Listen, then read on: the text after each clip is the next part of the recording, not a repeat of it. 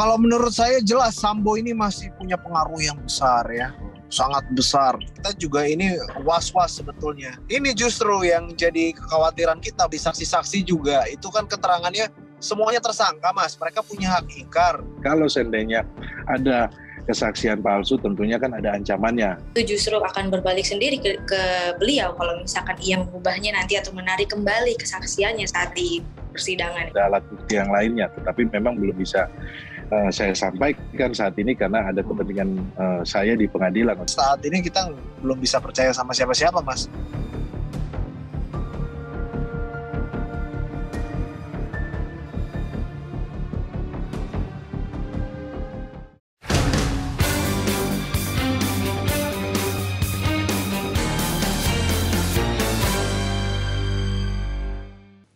Selamat pagi. Ketemu lagi di Crosscheck, diskusi publik akhir pekan bersama saya kali ini Ahmad Firdaus.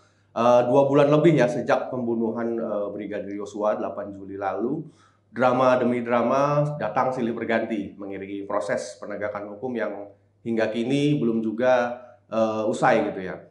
Nah, sementara itu di seberang kubu uh, kuasa hukum keluarga Yosua yaitu keluarga, kuasa hukum keluarga Baradae dan juga kuasa hukum uh, Brib KRR menyatakan kliennya hingga kini berbalik, ber, uh, kini berbalik arah dan tidak mendukung skenario Sambo. Nah, apakah alira, uh, balik arah para ajudan Sambo ini memperlemah posisi Sambo atau justru sebaliknya nih? Drama demi drama yang masih terus muncul adalah bukti masih kuatnya pengaruh Sambo. Nah, untuk mengupasnya telah hadir melalui sambungan Zoom bersama saya hari ini uh, Mbak Zena Dinda Devega, kuasa hukum uh, Bribka NR. Selamat pagi, Mbak. Selamat pagi Mas Firdaus. Selamat pagi. Terus ada juga Bang Roni Talapesi, kuasa hukumnya eh, Baradae. Selamat pagi Bang. Selamat pagi Mas Firdaus. Dan nanti juga akan bergabung bersama kita eh, Mas Yonatan Baskoro, kuasa hukumnya eh, keluarga Yosua. Mungkin kita mulai aja dulu dari Bang Roni kali ya. Uh, bang, soal uh, P21 nih Bang. Ini kan sampai saat ini apa uh, kasusnya belum juga P21 nih Bang. Ini wajarkah atau terlalu lama nih sehingga Menko Polhukam juga perlu berkomentar soal bolak-baliknya berkas perkara Sambo ini menurut uh, Bang Roni. Iya Mas Firdaus, kalau kemarin uh, saya mendampingi Baradae ini kan ada beberapa poin yang menjadi petunjuk jaksa P19-nya untuk dilengkapi. Nah, Uh, untuk sementara saya lihat sih semuanya masih on the track ya. Okay. Karena klien kami kemarin sudah sampaikan uh, di BAP. Nah selanjutnya kita menunggu uh, berkasnya P21. Informasinya kan sudah dikirim kembali kepada uh, jaksa dan mungkin sekarang lagi jaksa sedang meneliti. Kita tunggu uh, untuk P21-nya seperti itu, Mas Firdaus. Baik, baik, baik. Ke, ke, ke Mbak Zena, mungkin pertanyaan yang sama nih Mbak, dari klien Anda, Bribka RR, apakah seluruh berkasnya sudah lengkap nih Mbak untuk maju ke persidangan atau juga masih menunggu, harus menunggu? Ya, kalau untuk klien saya Bribka RR sama ya, masih menunggu. Terakhir itu kemarin masih pemeriksaan P19, pemeriksaan tambahan. Jadi kami masih menunggu informasi dari penyidik terkait P21-nya sih. Oke, oke. Nah, ini yang menarik juga soal kemarin kan sempat uh, diperiksa uh, dengan uh, apa uh, metode lie detector ya uh, Mbak Zena nih soal uh, pengakuan uh, RR dan sudah disampaikan penyidik dan ke kuasa hukum. Nah, boleh digambarkan nggak Mbak sedikit sekilas atau untuk publik nih hasil atau proses lie detektornya dari Bribka RR ini? Oke, okay, kalau hasil dari lie detektornya Bribka RR itu eh, dikatakan jujur uh, tidak ada bohong ya. Jadi itu sebenarnya pertanyaannya lebih uh, mengetahui atau tidak dugaan pelecehan di Magelang ya. Seperti itu sama tentang uh, inisiatif menyimpan uh, jatanya Brigadir J saat di Magelang. Itu hmm. sih. Oke, okay, oke. Okay. Nah, uh, soal uh, Brib KRN juga sampai sekarang masih mempertimbangkan atau sudah mengajukan untuk justice kolaborator ya, Mbak? Sampai saat ini masih dipertimbangkan mas masih oh. uh, perkembangan nanti. Oke. Okay, Nah yang yang yang menarik nih soal balik arahnya KRR ya kan mbak. Nah ini apakah uh, akan sama seperti Baradae ini dengan stick dengan uh, apa ya pengakuan yang baru ini gitu? Karena ada kemungkinan nanti di persidangan berubah lagi gitu? Nah, sebenarnya ini sudah sudah berbalik arah itu dari semenjak ketemu keluarganya sih ya Mas ya. Hmm. Mungkin uh, awal-awal Agustus kayaknya waktu saya sebelum masuk mungkin. Itu kan udah ketemu sama istri dan adiknya sudah tangis-tangisan bersama, sudah uh, bilang untuk akan terbuka secara jujur, terang benderang bagaimana peristiwanya gitu. Jadi setelah mungkin sebelumnya karena sebelumnya kami belum masuk sebagai pengacaranya RR, mungkin dari pengacara yang sebelumnya itu tidak membuka atau berbicara ke publik gitu. Sehingga pas kita masuk itu sebenarnya sudah sudah terbuka sih saat kita masuk di hmm.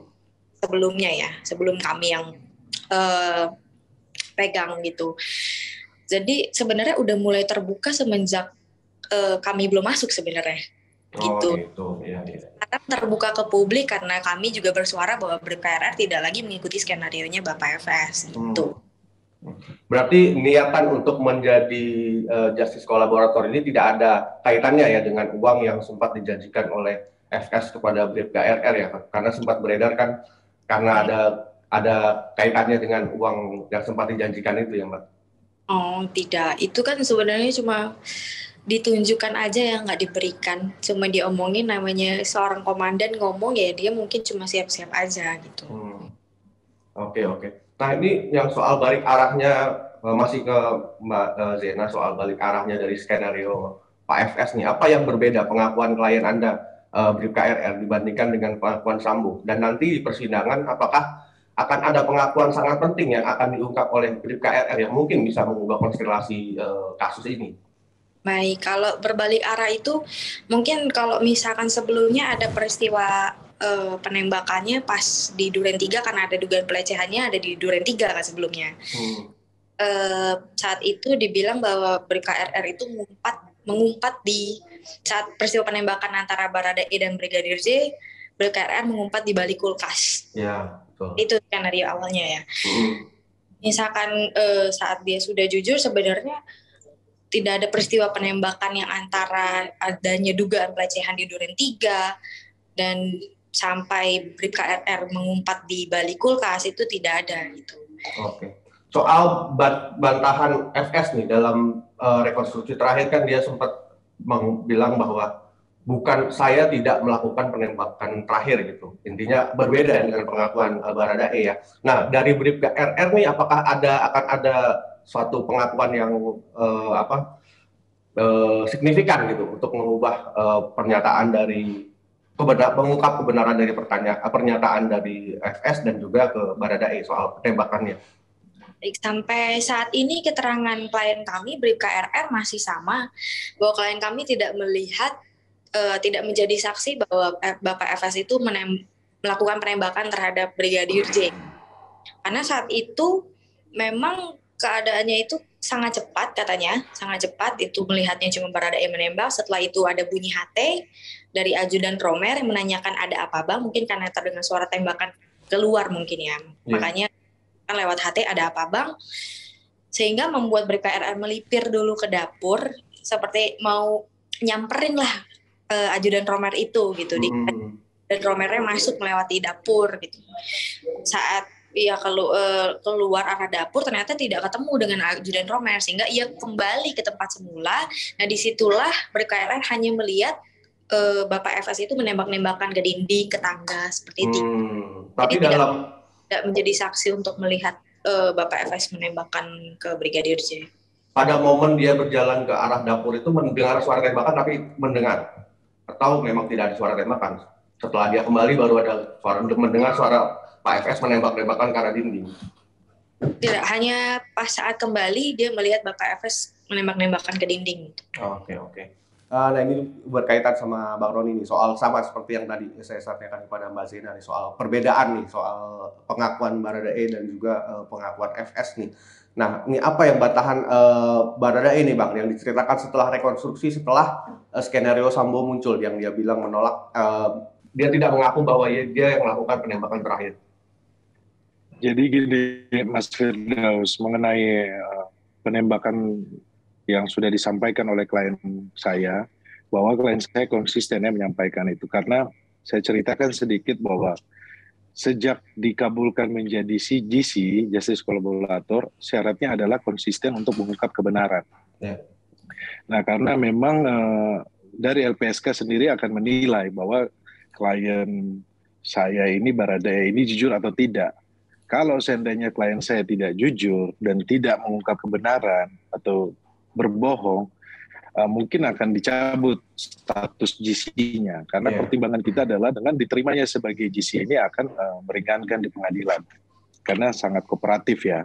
Itu pertama itu uh, latar belakangnya. Jadi kalau berbicara soal mengenai kronologisnya yang ada di Duren 3 klien saya tetap konsisten bahwa saudara FS juga ikut menembak Nah, mengenai uh, dibantahnya oleh saudara FS itu mungkin haknya dia hak ingkar ya, tetapi nanti kita akan uji di pengadilan kan kalau di pasal 156 uh, KUHP ayat 6 itu menjelaskan kan uh, persesuaian saksi dengan saksi, persesuaian hmm. saksi dengan alat bukti yang lainnya. Nah, kami kami melihat bahwa kerja dari tim sus atau penyidik ini pastinya kan um, tidak hanya berdasarkan keterangan saksi saja, pastinya kan juga ada alat bukti yang lainnya. Tetapi memang belum bisa uh, saya sampaikan saat ini karena ada hmm. kepentingan uh, saya di pengadilan untuk pembelaan.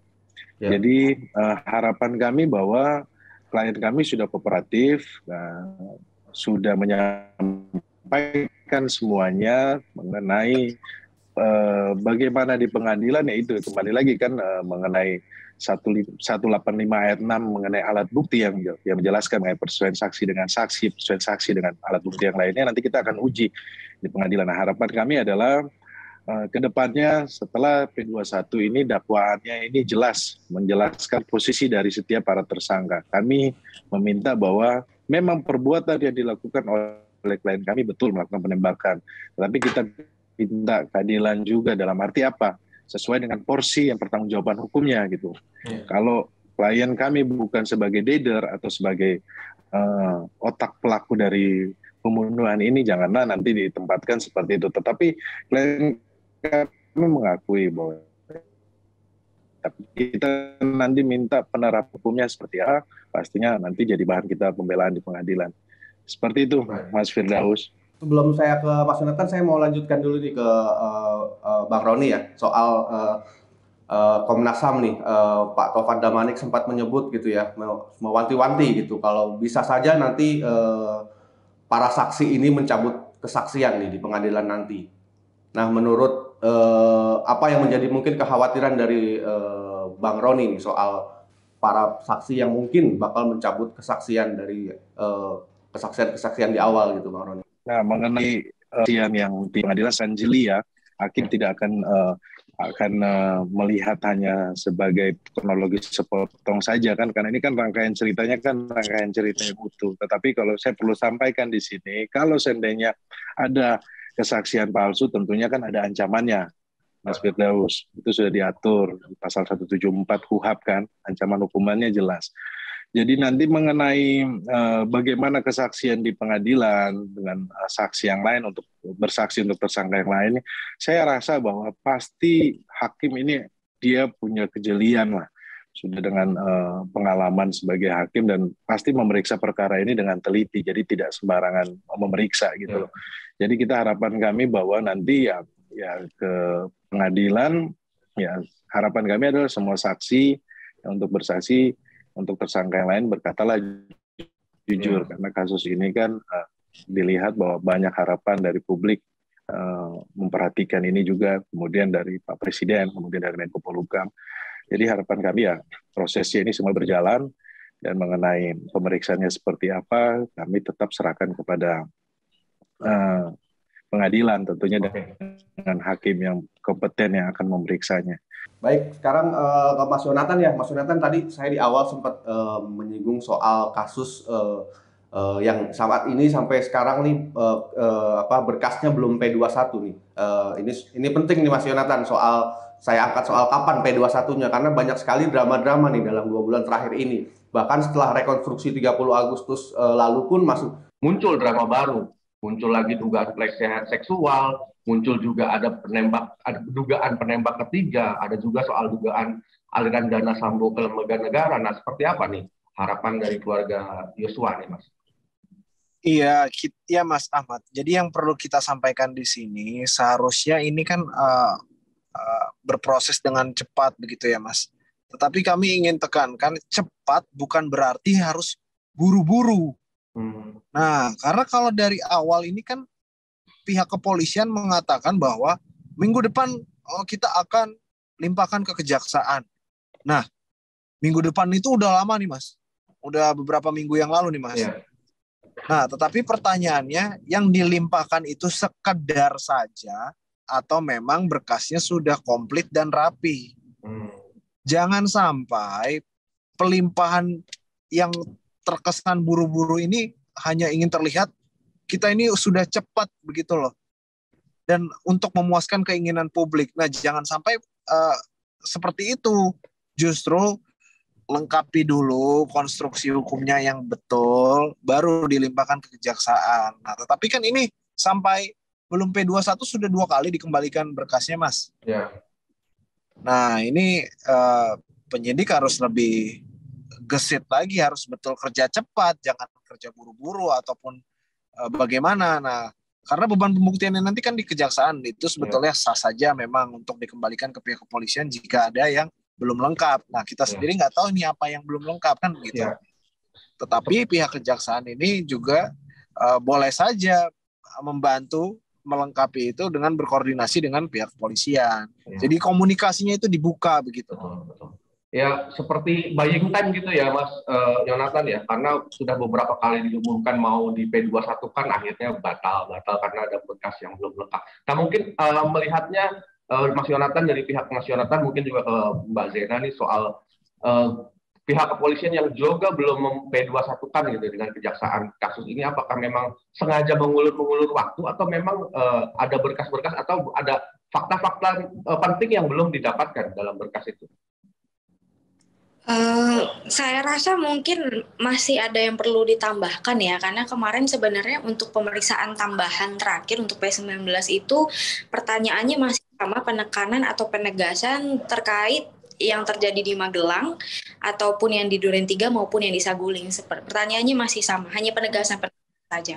Hmm, berarti masih wajar ya kalau menurut Mbak Zena ya, kalau penundaan-penundaan P21 ini? Sah saja sih. Hmm, kalau menurut Mas Yonatan gimana Mas? Ya kalau saya kita baca sudah dari awal ya Mas ya. Kita juga ini was-was sebetulnya. Hmm. Karena apa?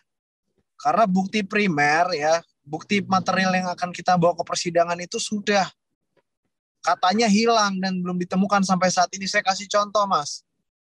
Handphonenya almarhum mana? Kan gitu. Ya. Baju celananya almarhum mana? Kemudian um, laptopnya mana? Nah ini kan kita nggak tahu mas, sampai sekarang pun tidak ada pengumuman yang clear begitu atau iya. pernyataan yang resmi bahwa handphonenya diketemukan atau apa atau handphonenya udah diganti. Nah ini justru yang jadi kekhawatiran kita. Bukti materialnya harus diperkuat oleh pihak uh, penyidik. Kemudian uh, uh, seperti saksi-saksi juga. Itu kan keterangannya semuanya tersangka mas. Mereka punya hak ingkar. Nah itu kan sulit begitu loh jadi hmm. menurut saya uh, wajar saja kejaksaan uh, membalikan kepada penyidik. Nah, penyidik hmm. ini kembali uh, di dalam penyidikannya harus mencari fakta-fakta yang real begitu, Mas. Ya, baik, baik. Nah, ini juga yang menarik soal pernyataan dari Ketua Komnas HAM nih, Mas Yonatan, uh, Pak Ahmad Taufan Damanik ya, sudah mewanti-wanti ya bahkan Sambo katanya bisa saja lolos nih dari jerat hukum jika para saksi menarik pengakuannya di BAP. Nah ini seperti apa nih Mas Yonatan? P21 saja belum muncul. Kemudian muncul lagi di publik soal wacana Sambo berpotensi bebas. Apakah di balik pernyataan-pernyataan dramatis yang muncul ketika P21 tak kunjung selesai dan sebut-sebut bolak-balik polisi atau kejaksaan, Mas Yonatan? Jadi begini Mas, Komnas HAM hanya perlu memeriksa apakah ada pelanggaran HAM berat atau tidak. Itu dulu kita pegang ya konteksnya. Ya. Nah menurut kami Komnas HAM ini sudah terlalu offside Mas sudah Maksudnya? seperti sudah seperti jubir hmm. ya mengeluarkan rekomendasi yang mengatakan pelecehan seksual atas uh, dasar keterangan-keterangan para saksi katanya yang sudah jelas saksinya tersangka semua. Kemudian tiba-tiba yang baru-baru ini bilang ada potensi bisa saja Sambo ini sakit jiwa. Terus sekarang bagaimana kalau saksi-saksi mencabut berkas di pengadilan? Nah, kok statement-statementnya Komnas HAM ini justru jadi uh, tendensius ke arah arah sono gitu ya, Mas ya? kan kan ini justru ma masyarakat publik juga tidak tidak tidak bodoh, masyarakat pun bisa menilai kok sudah keluar dari tupoksinya sih ini lembaga yang uh, katanya kredibel ya. Begitu, Mas. Oke, okay, oke. Okay. Nah, kalau dari Mbak Zaina sendiri nih, Mbak, soal wanti-wanti dari uh, Pak Tovan nih soal kemungkinan para saksi termasuk mungkin juga berita RR ya akan menarik kesaksiannya pada persidangan nanti ketika nanti di persidangan. Apakah uh, ada jaminan nih bahwa uh, berita RR tidak akan mengubah uh, pernyataannya di persidangan nanti? Ya, sampai saat ini klien saya BKRR tidak mengubah keterangannya dan sudah juga sudah jujur ya dan sudah juga dijelaskan bahwa keterangan klien kami sama sekali tidak melihat uh, dugaan pelecehan tersebut di Magelang ya karena sudah jelas sekali bahwa saat mungkin saat terjadinya yang katanya dugaan pelecehan itu di Magelang itu terjadi saat itu kan klien kami sedang keluar ya bersama barang, barang Barada RE okay. Richard mengantar barang anaknya ke sekolahnya gitu. Jadi mungkin untuk peran sebagai uh, turut berencana atau perencanaan atau sebagai pelaku menurut saya penyidik mungkin sah-sah saja karena mungkin posisi klien kami ada di sana menyaksikan. Gitu. Jadinya sah-sah saja penyidik mengatakan bahwa ikut berencana, tapi di situ sudah jelas sekali dan sudah dikonfirmasi juga bahwa klien kami tidak ikut merencanakan. Bahkan klien kami saat ditanyakan eh, berani menembak atau tidak, klien kami pun juga sudah menolak. Dan tidak ada kata-kata lain, misalkan ada perencanaan. Kalau ada perencanaan, misalkan eh, nanti akan dilakukan di mana atau saya akan begini begitu tidak ada sama sekali dan hanya menanyakan Bahkan klien kami pun berkata jika memang dari Magelang ia sudah tahu, maksudnya sudah ada perencanaan, misalkan ada perencanaan ya. Hmm. Tapi klien kami sama sekali tidak mengetahui itu akan terjadi dan tidak bisa uh, mencegahnya gitu. Ia sering bilang ke kami kalau misalkan saya udah tahu mungkin dari Magelang waktu karena kan jalan dari Magelang ke Jakarta itu kan e, eh, BKRR berdua dengan Brigadir J gitu posisinya. Yeah dia bilang mungkin saat itu udah saya suruh Brigadir J pas di rest area saya kasih duit udah pergi aja. Hmm. Saya di saat itu bisa bantu kalau saya memang sudah tahu gitu.